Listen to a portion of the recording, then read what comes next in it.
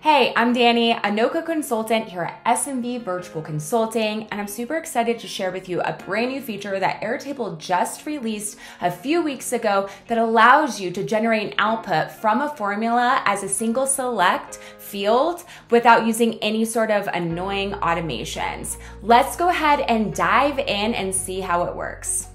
I went ahead and created this space in Airtable so that I can show how this new feature works in Airtable. So I'm pretending right now that I'm a shop owner, I sell multiple different things, and I'm keeping track of all of my inventory and categorizing it, and also keeping track of my orders and line items. Then I'll show you how to implement this quick and useful feature that enables you to use single select field versus a formula, saving you loads of time and also improving the user experience. Now let's quickly go over our Airtable base that I created in order to demo this new feature and show you a real life application and how this can help. So I'm pretending that I'm a shop owner. I sell multiple different types of products and I need a way to keep track of my products, orders, and order line items. So first I created a table for categories where I listed out all the categories that I sell in and also linked my products table right over here and categorized them. Then I created a products table over here. This is where I'm gonna keep track of things like my sale price, my item cost, my profit, which I went ahead and did a formula for, and then linked back to my categories table so I can even see where they fall under categories on my products table. Then we're gonna move on over to our orders. This is where we're gonna keep track of all of our orders and we're gonna keep track of the order number, order date, order line items that I'm linking back to my order line items table. We're keeping track of the quantities and then rolling up the totals, the costs, and the profit. Now moving on to our order line items. This is where we're gonna link back to orders. We're gonna keep track of our order date, and we're even gonna make a formula right here in this column where we're actually pulling the year from the order date in this column and making a formula to where it's only showing the year. And then also we're linking back to the products, the categories, and then keeping track of other important information. Once your structure on Airtable is complete, you can then move on to create an interface. This is the secret sauce of Airtable. This is why we all know and love Airtable. So I've already created an interface. We go up here to the top bar and click on interface and it pulls it up right here.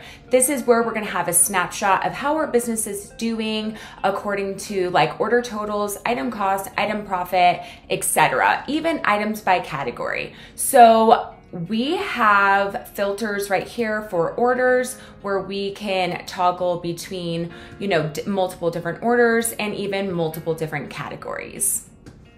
Right now, I'm only able to filter by orders and categories, but uh, what I really want to do is filter by year so I can see how my business is performing year over year. Well, with Airtable's new feature, you go back to your data view and you go into where we see order year right here, but it's a formula. So prior to where this feature got released, you could never do a single select field with a formula field. Well, now things have changed. So we're gonna go over here, we're gonna click on the drop down, we're gonna hit edit fields, and we already have our datetime format uh, formula entered right here. So it's pulling the year from the order date. And we're gonna go over here to formatting and we're gonna toggle on this change formula output to a single select option. We're gonna click it on, we're gonna click color coded options. I've already filled out all of the uh, single select options, which are all the years that we've been in business. So 2022, 2023, 2024, and I've even added in a default in case some formula gets messed up. It doesn't mess up the whole table. It'll show up as a default, or you can even put like error on this as well. I like color coding them as well. So we're gonna hit save. And we're gonna confirm changes and see. So all of these are displaying now as a single select field. Now we're gonna go back over to interfaces. Now that we're back in our, into our interface, we're seeing that we can only filter by orders and categories. So in order for you to display that formula to single select option that we just did in our data table, you go over here and add an extra filter. So we're gonna hit the blue plus sign and we're gonna select order year. All right, now that we've gone ahead and added the filter of the order year, we're gonna go ahead and see how the user experience would look from their perspective. So once you complete this test, go over here, hit publish, and then that way we can preview and see exactly how they would see it. So right now we're viewing all of our order totals, costs, and profit as a whole over all the years. But what we want to do is see how our sales compared from 2022 to 2024. So we're going to click 2022 right here, and this is going to pull in all the totals, cost, and profit from the year 2022. It looks like we only had, um, you know, three items ordered. We made about close to $2,000. So we're going to go here and unselect 2022 and select 2024. And wow, our order totals went up by $4,500 from 2022 to 2024. You can see our item cost went up. We had 10 additional sales, and then our item profit went up as well. So that is definitely the perk of going ahead and adding in the order year right here. And it's as simple as that.